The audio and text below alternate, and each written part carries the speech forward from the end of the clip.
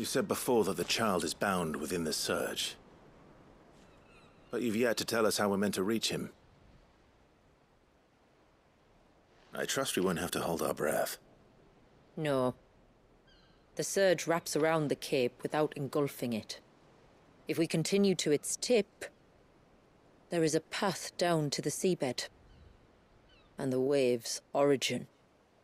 All right. It won't be the first dominant we've met at the bottom of the ocean.